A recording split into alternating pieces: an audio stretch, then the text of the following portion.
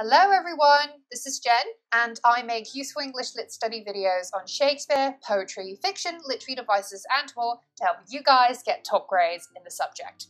So in today's video, we are analysing William Blake's poem, London.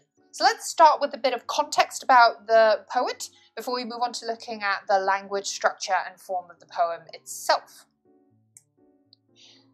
William Blake was born in 1757 in London to humble beginnings. He was the son of a hosier father and a yeoman mother.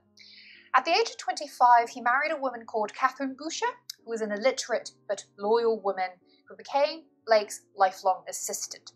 Together, they had no children, and at one point, Blake even considered bringing a second wife into the family, which never really happened because apparently Catherine was upset about the idea.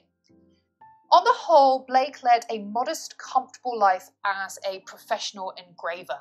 Now, this is an important point because Blake was actually an artist by trade, and poetry was more of a lifelong hobby for him, even though he did publish poems within small select circles of people.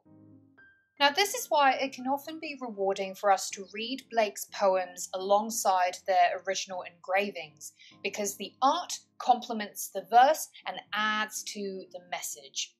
So, although a deeply spiritual man, Blake hated all forms of institutional religion, like the church, although he would often allude to God and biblical figures, in addition to classical and self made myths, as sources of creative inspiration. While he was ridiculed as a lunatic in his own time, he was posthumously vindicated as a visionary and prophetic seer.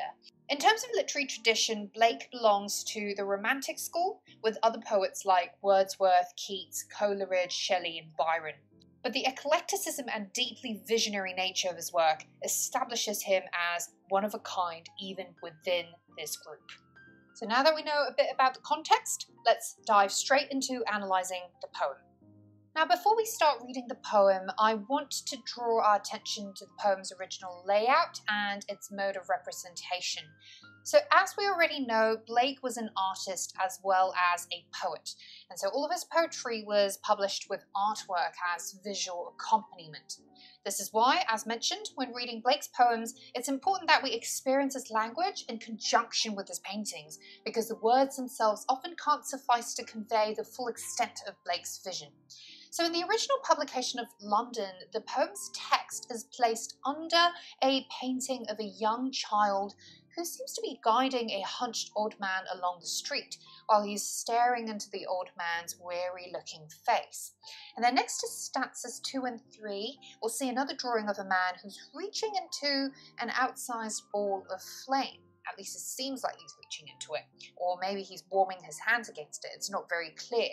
But at this point, I'll simply point them out as important informations for us to consider, but we will return to them at the end of our analysis when we will have developed a more sophisticated interpretation of the poem to be able to glean some meaningful insights from the artwork.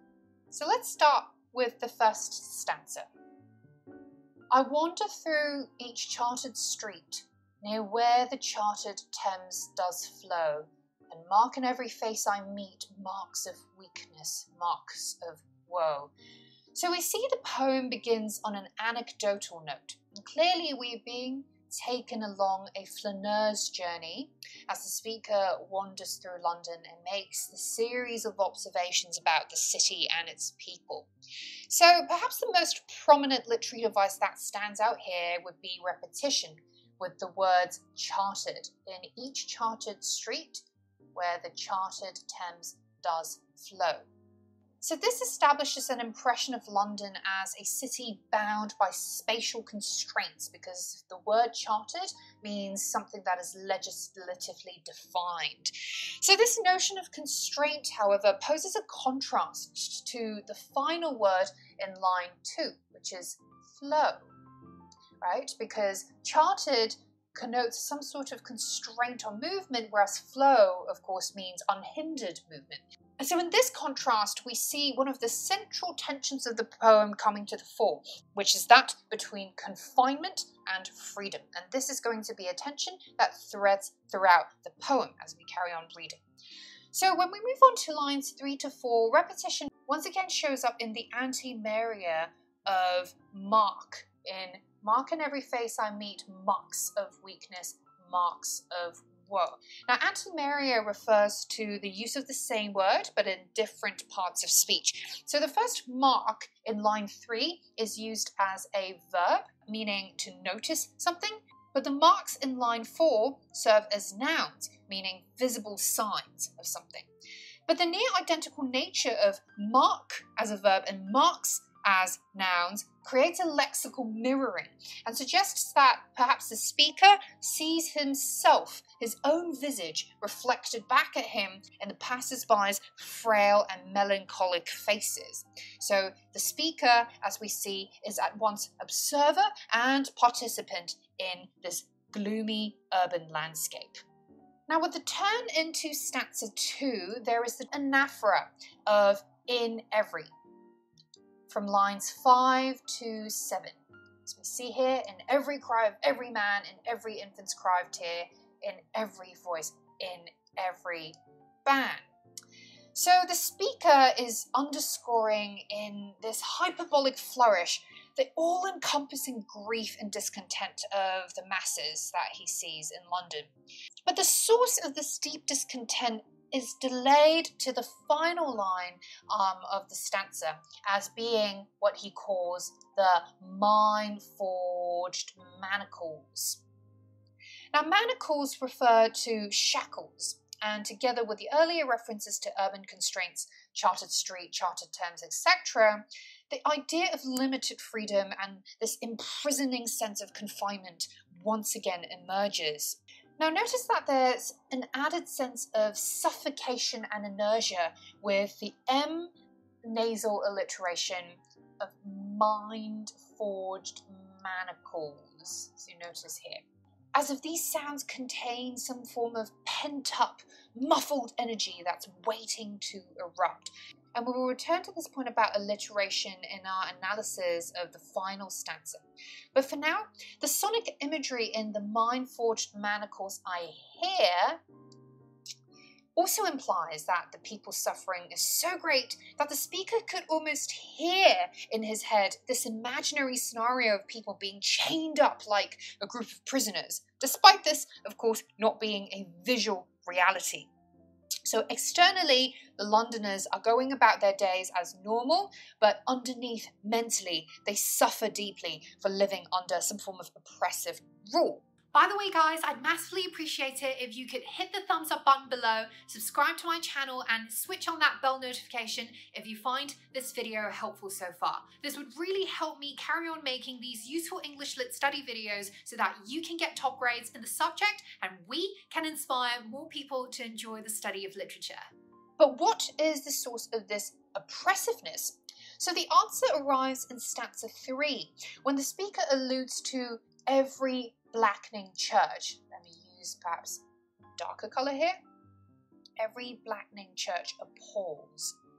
And when he alludes to those palace walls, okay, so as the stanza goes, how the chimney sweepers cry, every blackening church appalls and the hapless soldier's sigh runs in blood down palace walls.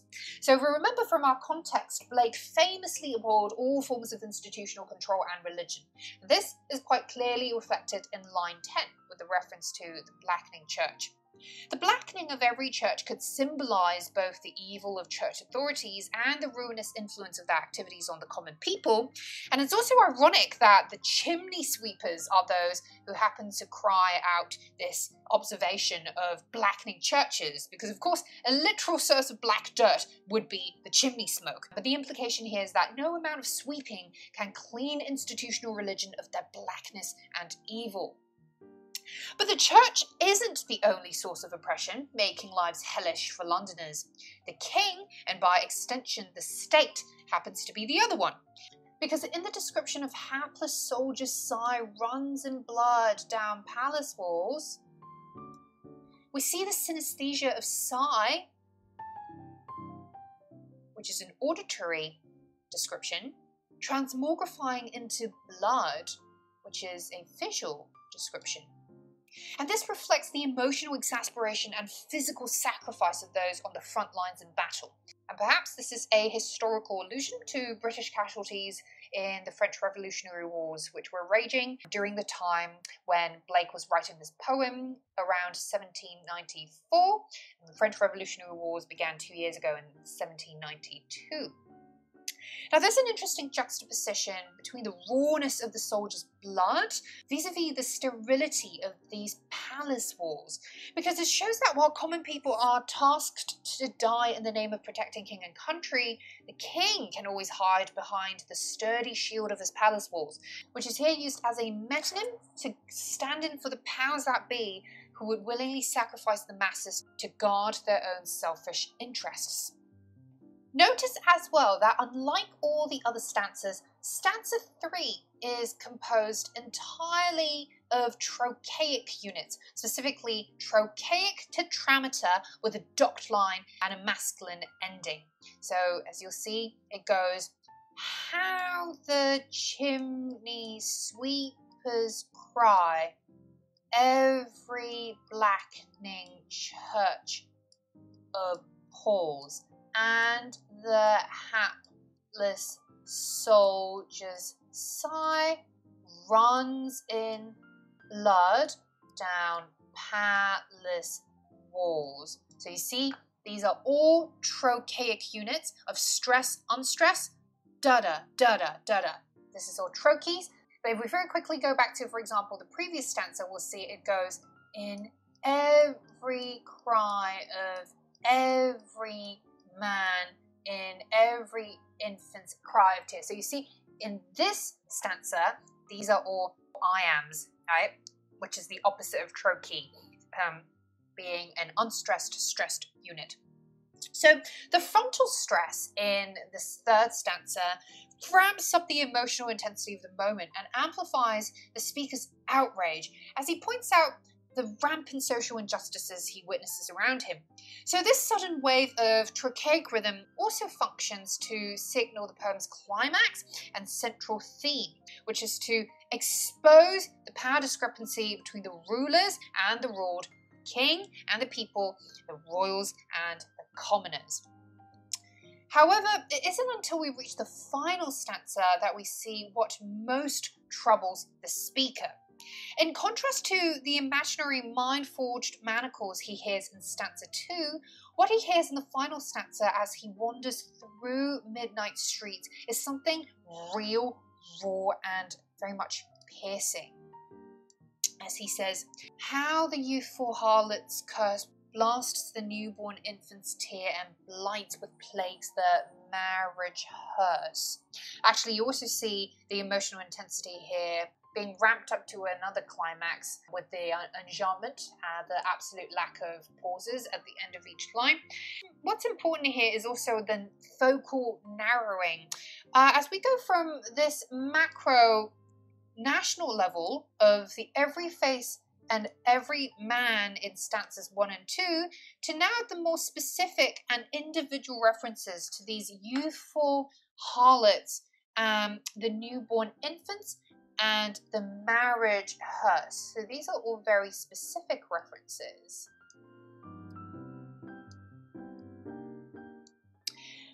Now, there's an unsettling juxtaposition of child prostitutes, which is youthful harlots, and the newborn babies.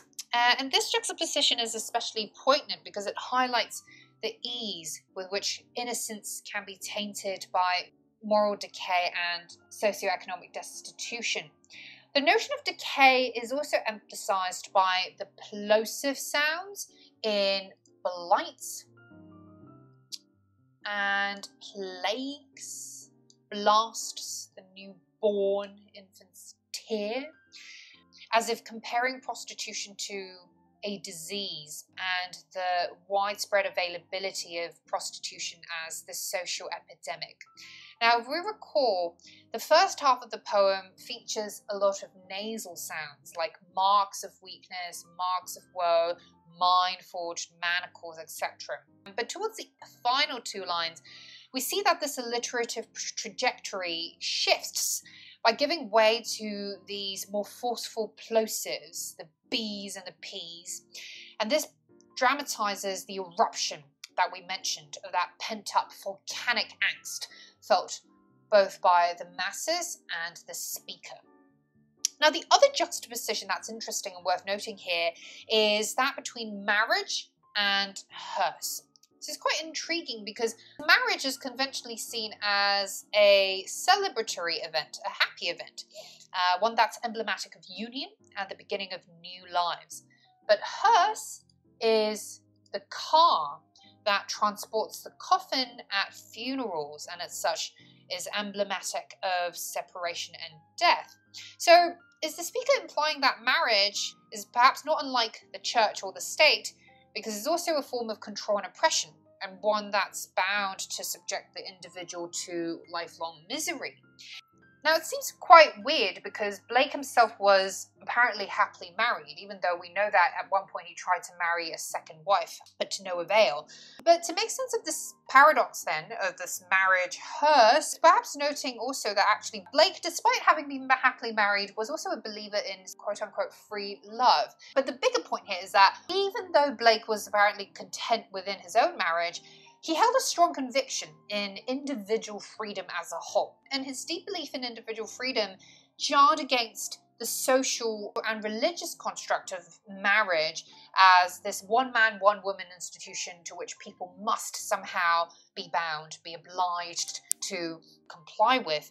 So we see from the poem's beginning to its end, control is seen to take on various forms from the state to the individual level, and all of which is seen to result in human suffering, whether physical, as in the soldier's blood, or psychological, as in the infant's tear, and the unhappy marriage alluded to in the final reference to the marriage hearse. Now, this motif of control is also manifested in the rigidity of the poem's form, which comprises four quatrains and an alternate rhyme scheme, as we see here, these four quatrains, four line stanzas, very regular, and the alternate rhyme scheme that pretty much doesn't really diverge at all with street, meet, flow, woe, man, ban, fear, here, cry, sigh, applause, walls, here, tear, curse, hearse. It's very neat. So except for the trochaic shifts in actually line four, marks of weakness, marks of woe, the entire stanza three, which we had just pointed out, as was lines 14 and 15, how the youthful harlot's curse blasts the uh, newborn infant's tear. There's very little structural divergence on the whole. And so perhaps this what this does is it mirrors the caged, confined, and shackled existence of the Londoners from the speaker's eyes. So, as a final point, let's return to Blake's artwork for this poem, as promised at the start of our analysis. At this point, I think it's worth thinking about what the child and the weary old man could symbolize, and of course, also what about the man who is either warming his hands against the ball of flame or here ambiguously also implied to be reaching his hands into the ball of flame? So, if we pay attention to the tonal progression of the poem, we'll notice that the tone starts off with this hint of wonder in stanzas one and two, right? Uh, as as we see this eye marking in every face I meet marks of weakness, marks of woe. So there's this sense of um, almost kind of discovering London for the first time. Oh, I see in every face um, this sort of grief, right? Uh, there's a sense of discovery here. But it actually changes into this sense of outrage and shock as we reach the latter half of the poem in stanzas three and four. As if the speaker, as he ventures into the city for discovery, he instead uncovers dark realities for the very first time. So there's a sense then that the speaker sees London as if from a child's vantage. And while London itself, the city itself, is so wrought with marks and scars of pain and grief, is perhaps symbolized by this close lidded, weary old man. And so, meanwhile, the outsized flame here perhaps conjures up the perhaps conjures up hellish associations, which is obviously apt given the poem's sin ridden apocalyptic portrayal of the city. But the presented man reaching somehow into this flame also suggests that ultimately humans are the ones who create their own hellish existence, both for others and for themselves. And so while those in power obviously subject others to the hell of suffering, like the king, subjecting his soldiers to bloodshed and sacrifice. Those without power, like the commoners, would also internalize these hellish conditions in which they are placed, and hence the mind forged manacles alluded to in line 8, which serves throughout the poem as a governing image. And that is it for this analysis of William Blake's London, guys. I hope you enjoyed this found it useful.